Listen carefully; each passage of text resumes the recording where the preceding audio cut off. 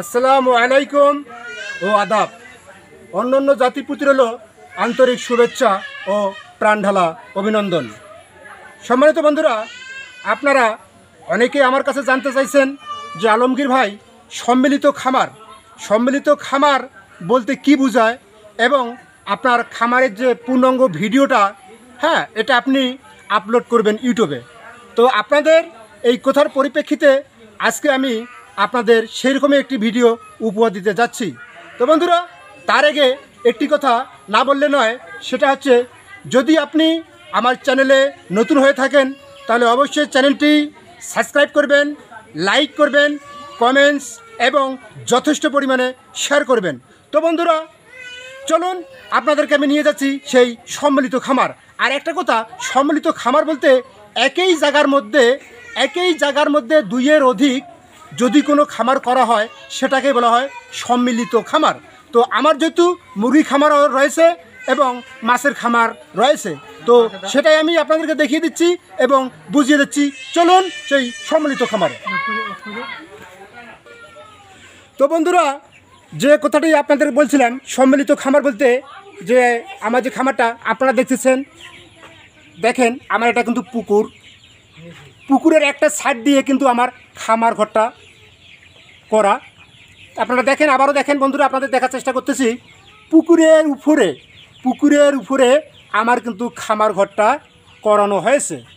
তো পিছন দিকে গেলে আপনারা সুস্পষ্টভাবে দেখতে পারবেন, সেটাও আমি ইনশাল্লাহ আপনাদেরকে দেখাবো। আর খামারের যে দৈর্ঘ্য দৈর্ঘ্য রয়েছে তিরিশ ফিট এবং প্রস্থ রয়েছে বারো ফিট। তো আপনাদেরকে আমি পিছনটা দেখার চেষ্টা করতেছি।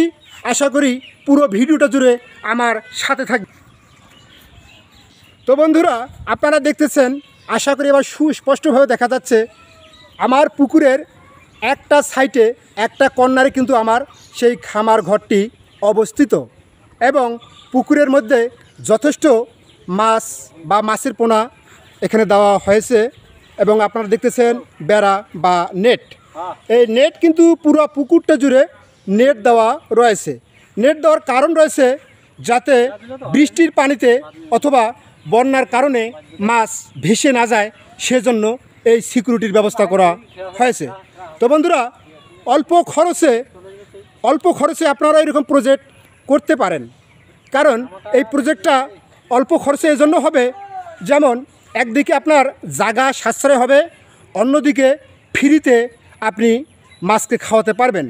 মানে মুরগির যে আপনার বিষ্ঠাটা রয়েছে, এটা সরাসরি কিন্তু পানির মধ্যে, পুকুরে পানির মধ্যে পড়তেছে এবং এখান থেকে মাছ আহার করতেছে। তো বন্ধুরা, আশা করি আপনাদের ভিডিওটা ভালো লাগতে পারে অথবা নাও লাগতে পারে। তো ভবিষ্যতে আপনারা যদি সম্মিলিত খামার করতে চান, তাহলে আপনারা এভাবে করবেন। আশা করি আপনাদেরকে বুঝাতে পারছি। তারপরেও আপনারা আবারও আপনাদের দেখার চেষ্টা করতেছি। দেখেন বন্ধুরা, আমার পুরো পুকুরটা কিন্তু পুরো পুকুরটা কিন্তু আপনাদেরকে দেখালাম এবং এখানে যে নেট দেওয়া রয়েছে, সেটাও আমি আপনাদেরকে দেখালাম। তো বন্ধুরা, ভিডিওটা আর বেশি বড় না করে আজকের মতে আমি আলমগীর হোসেন আপনাদের কাছ থেকে বিদায় চেয়ে নিচ্ছি। আসসালামু আলাইকুম এবং ভরসা টিভির পক্ষ থেকে ধন্যবাদ।